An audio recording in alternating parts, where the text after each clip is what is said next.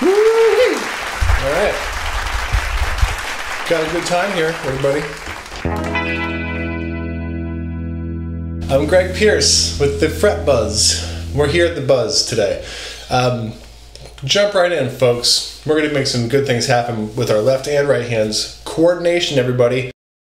Combining slurring and picking into one into one exercise, will, which will hopefully end up being part of your uh, part of your improvisational process, um, part of your compositional process. Let's get down, shall we?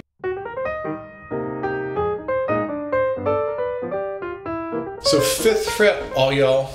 Um, we're going to start with A.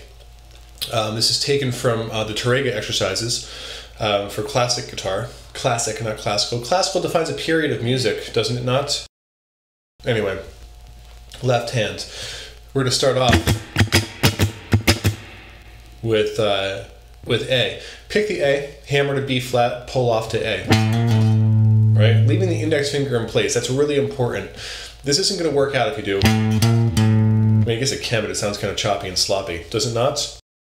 So we play A, B flat, A. Now hold both fingers down on A and B flat, right? That's our anchor. And we're going to hammer to B from B flat. Then hold three fingers? And we'll hammer with the pinky. So the whole exercise across all six strings will end up looking like this.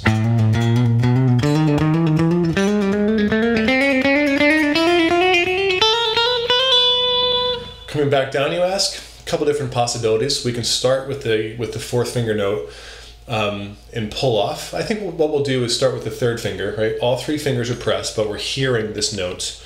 And we're gonna pick, right? And now pick the B flat, hammer to B. And now pick the A and hammer to B flat. Ah.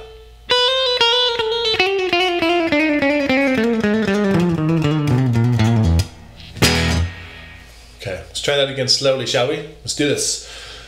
One and uh, two and. Uh...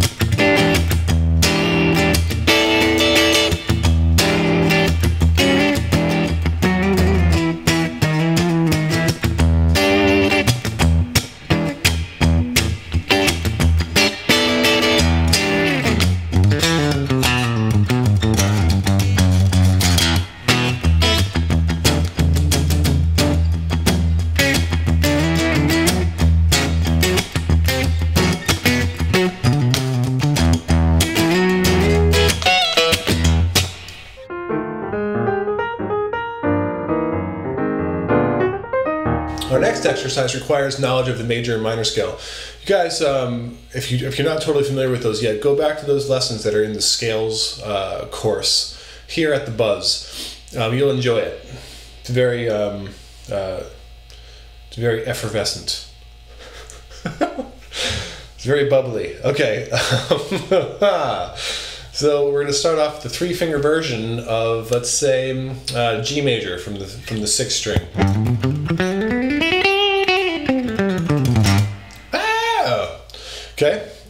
We're going to play this in ascending thirds. Okay.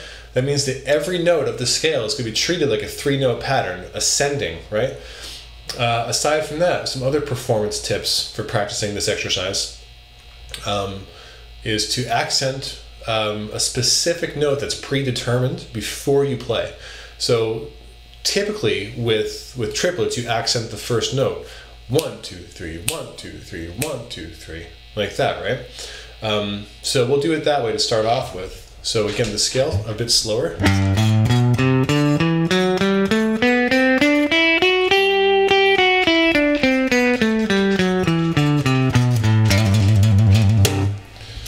So now if I take all those notes and treat each one like it's the beginning of a three note pattern, I have this within the key of G, one sharp.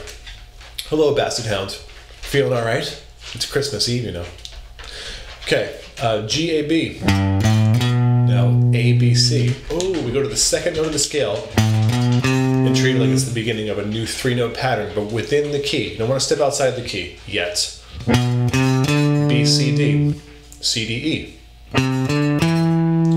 D E F sharp, E F sharp G. And there's octave one, and then we'll do the same thing in the second octave.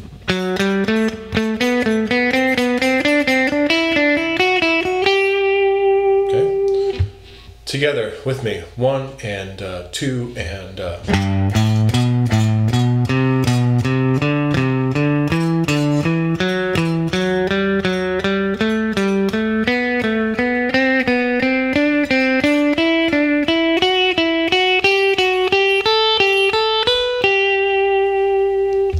improvisational thing at the end there.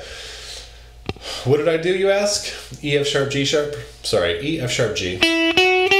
F sharp G A for the ninth note of the scale, right?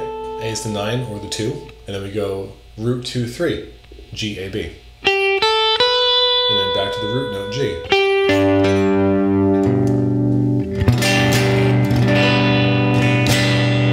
Oh, these chords! I'm telling you, these chords are so gorgeous.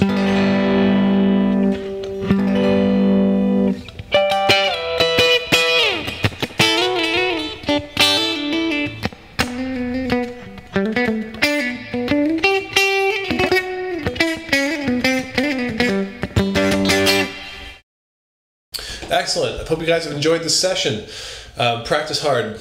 Uh, questions or comments, leave uh, leave a note below. We'll all talk about it and uh, make each other better players. Uh, enjoy your day. Be kind to one another.